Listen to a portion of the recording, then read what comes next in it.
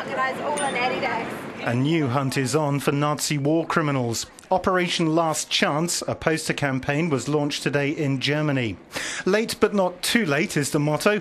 The Simon Wiesenthal Centre is also offering a reward of 25,000 euros.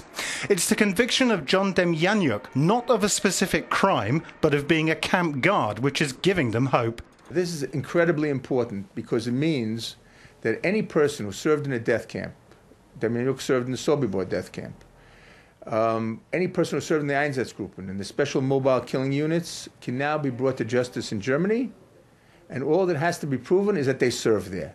In other words, they're automatically convicted of at least accessory to murder. Demjanjuk was found guilty of complicity in the murder of at least 28,000 Jews. There are estimated to be between 60 and 120 Nazi war criminals still at large. Most, if not all, will now be over 90 years old.